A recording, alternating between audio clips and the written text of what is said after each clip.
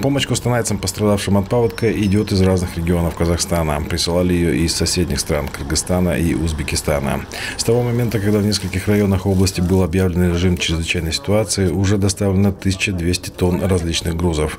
Очередная партия прибыла сегодня из Шимкента. Непосредственно сейчас мы принимаем э, гуманитарную помощь от э, спортивных федераций и управления спорта города Чимкент. Э, они с нами заранее созванивались, узнали нашу потребность и с учетом нашей потребности вот население, можно сказать, города Чимкент собрали и передали нам гуманитарную помощь. 20-тонная фура через всю страну доставила масло, овощи, другие продукты, черенки для орудий труда, матрасы, средства гигиены, воду, несколько тысяч полипропиленовых мешков. Все это шимкенцы собрали за два дня. Всего товаров, по словам сопровождающих груз людей, на 15 миллионов тенге, в том числе очень необходимые для Джангельдинского района генераторы электричества.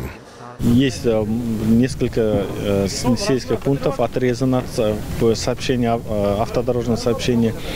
Туда доставляются продукты питания. А в целом сейчас уже есть несколько у нас сел, где отсутствует электричество.